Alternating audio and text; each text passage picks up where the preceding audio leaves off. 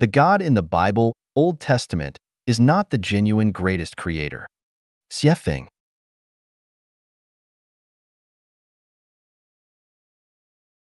First of all, we have to admit that the Bible is the accomplishment of the Ephraim which loyally records the Jewish history, explains the relationship between the God, devil, and human beings to the furthest degree, and gives the direction the human beings should take. The Bible, the Quran, the Buddhist scripture, and the Tao Te Ching are the eternal and effective treasures and collections of human wisdom, teaching us how to behave and develop into the higher level of life space. In the beginning, God created the heavens and the earth. The first sentence in the Bible did tell the truth. But the things covered by the cassock may not be the holy things, and the people wearing the sacred cassock may not be the abbot.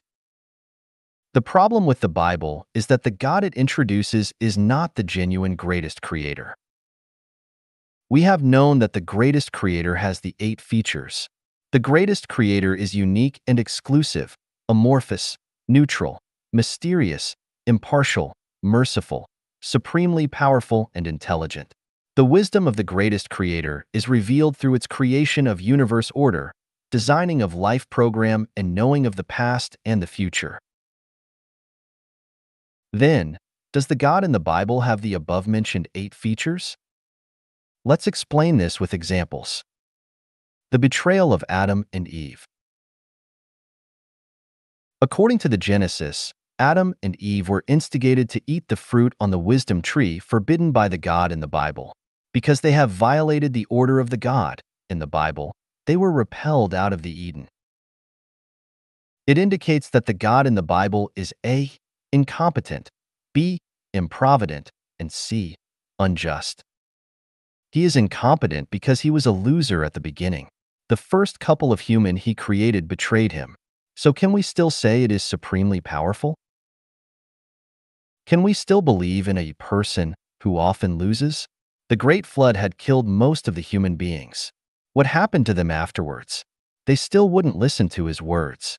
The Moses Ten Commandments are actually the directives of the God in the Bible. Can you tell me how many of them are obeyed by the human being? Actually, not even one. The God in the Bible seemed to know nothing about how to control the human beings. The only measure it takes is to voice warnings and threats against the human beings. Thousands of years has passed, the human beings remain the same. Is there no means to control the human beings? Or is there some other force constraining this almighty God? If this is the case, is this God not sole or exclusive? For thousands of years, the human beings have been violating his order. What is he waiting for? The God in the Bible is improvident because he didn't know that Adam and Eve were going to betray him or the development trend of what he had created. Is this God, who is not able to predict the future or the past, still reliable? If the Earth is going to get out of the solar system and this God knows nothing about it, how can he save the human beings? How can this God administer the deities, Buddha, celestial beings, and devils when he found it difficult to control the human beings? How can he manage the spacious universe? The God in the Bible is unjust because it cannot tell wrong from the right and because it is unreasonable. Why would Adam and Eve betray the God in the Bible? There are three major reasons. First, the genetic structure of Adam and Eve had faults or was imperfect. The life created by this God was now its own constraint. This angered the God very much. It is just like the house built by an architect who put every efforts was fallen and hit his own feet. Is the house or the architect that should be blamed? The second reason they betrayed is that they were instigated and seduced by the snake. Adam and Eve are humans while behind the snake was the devil Satan. The energy and wisdom of human beings can't match those of the devil. This God didn't punish the devil Satan. Instead, it imposed inflictions on Adam and Eve and drove them out of Eden. Is it fair? If a rapist raped an eight-year-old girl, would it be fair to blame the girl for her sexual organ and weakness instead of bringing justice to the rapist? The third reason of betrayal, which is also the most important one, is the damned wisdom tree that can tell the good and evil. Who has planted it in the Eden and why? It's just like putting a poisonous sweet on the dinner table for the kids. Or it's like playing the porn video for the young girls while teaching them to retain their innocence. Would a moral person do such a thing? Isn't this person who planted the wisdom tree in the Eden has caused the betrayal of Adam and Eve? Besides, does this God, who had created Adam and Eve, has other measures to take rather than driving Adam and Eve out of the Eden? Is it fair not to give them a second chance simply because they have made only one mistake? Does one mistake justify their lifelong sins? Jesus came to the mortal world to atone for the human being's sins. According to the Bible, all the people have their original sin. Where does the original sin come from? Actually, they are inherited from Adam and Eve, the ancestors of human beings, whose sins were formed because they had eaten the fruit on the damned wisdom tree. When we are born, we have the original sin inherited from Adam and Eve. The cross on our back was much too heavy. According to this logic, the son of a thief is always a thief, the son of a criminal is always a criminal, and the son of an emperor is always an emperor. That's why in ancient China, in the feudal period in particular, if a man committed crime, all his family members would be sentenced to death. Or, if a man attained the Tao, even his pets ascended to heaven.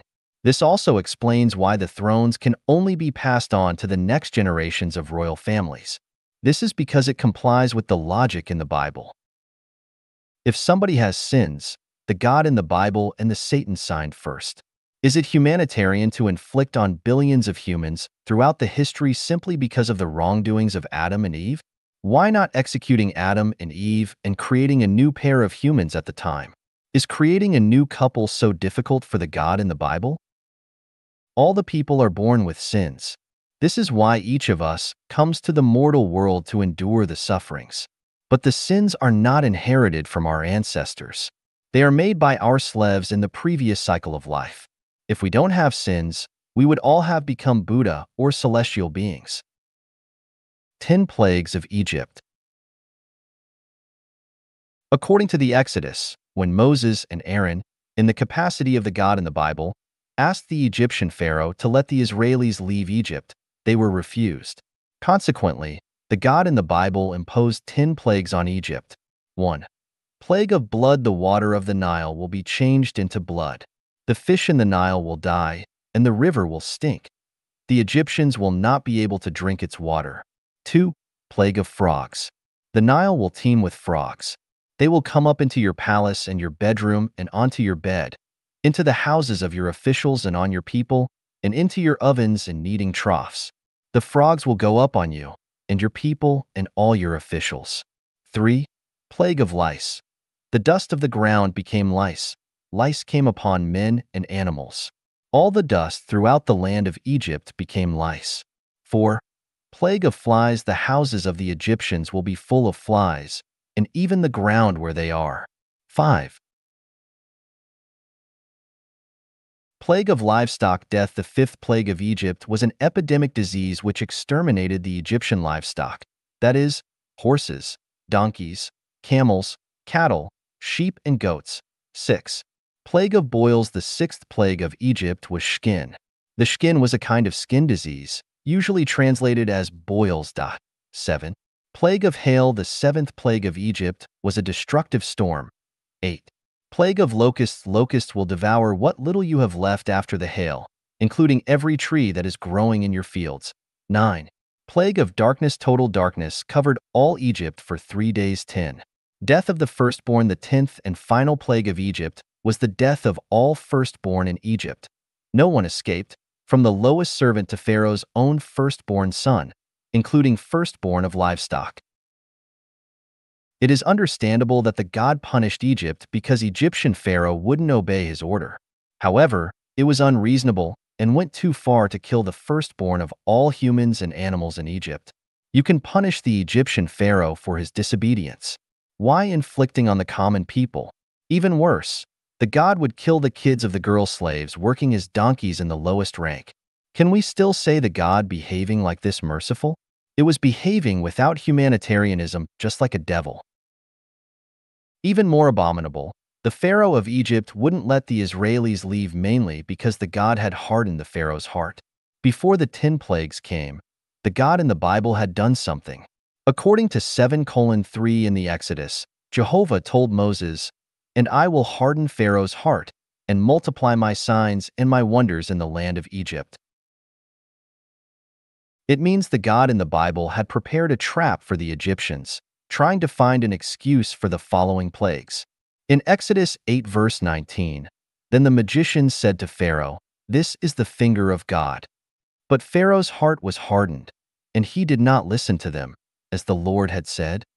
In Exodus 9 verse 35, And the heart of Pharaoh was hardened, neither would he let the children of Israel go, as the Lord had spoken by Moses. In Exodus 10 verse 20, But the Lord hardened Pharaoh's heart, so that he would not let the children of Israel go. In Exodus 10 verse 27, But the Lord hardened Pharaoh's heart, and he would not let them go. In Exodus 11 verse 10, And Moses and Aaron did all these wonders before Pharaoh, and the Lord hardened Pharaoh's heart, so that he would not let the children of Israel go out of his land. It was the God in the Bible who let the Israelis leave Egypt, but it was the same God who had hardened the Pharaoh's heart and sparked the conflicts so that the Israelis couldn't leave Egypt easily. So what the God in the Bible was doing? It was encouraging the people to revolt while telling the authorities about the revolt and encouraging the government to oppress them mercilessly. Isn't such a person a schemer and two-faced? So is this the image of the greatest creator? The Israelis are the people of the covenant. The Bible has the Old Testament and the New Testament. The part telling what happened before Jesus was born was called the Old Testament, and the part telling things after Jesus was born was the New Testament. The Testament actually means agreement, covenant, and contract. The whole Bible is the agreement, covenant, and contract between the Israelis and the greatest creator. So here is a paradox. There are over 3,000 nations in the world, and why the God has established the testament with the Israelis? Does this mean the other nations are not the subjects of the God? If they are, why has the God only established the testament with the Israelis while neglecting all the other nations? If they are not, what's the origin of all the other nations? Are Adam and Eve only the ancestors of Israelis and not the other nations? The Israelis are created by the God.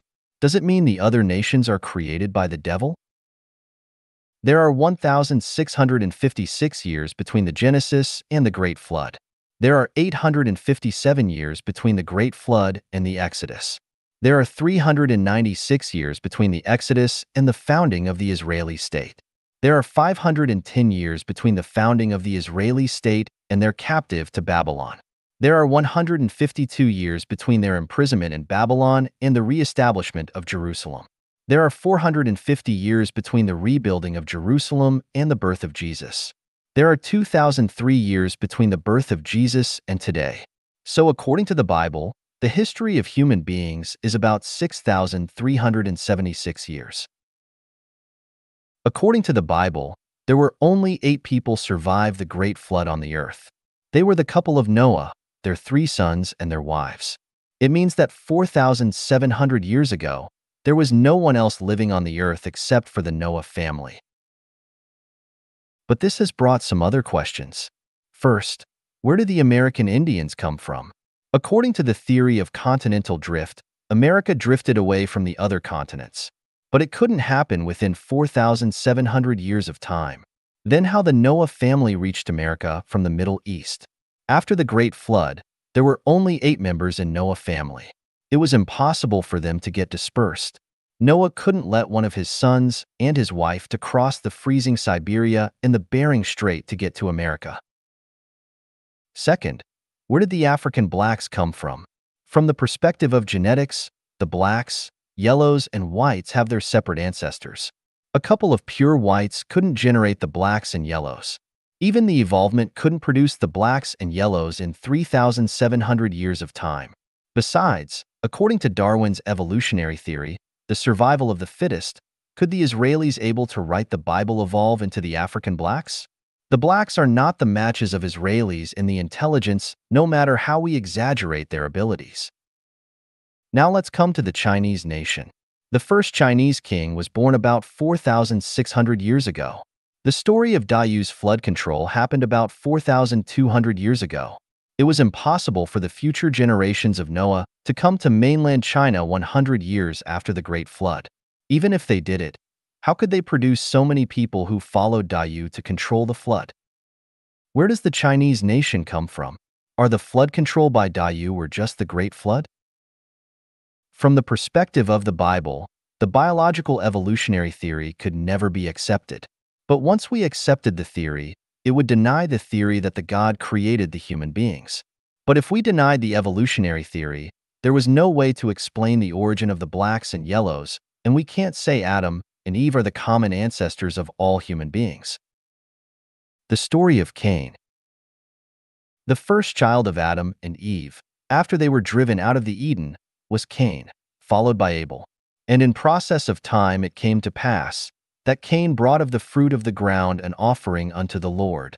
And Abel, he also brought of the firstlings of his flock and of the fat thereof. And the Lord had respect unto Abel and to his offering, but unto Cain and to his offering he had not respect. Out of jealousy, Cain killed his brother Abel. We want to ask the God in the Bible some questions.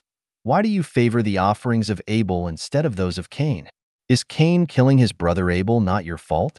If you had never favored one of them, how could it arouse the jealousy of Cain? Why the people created by you had so many troubles?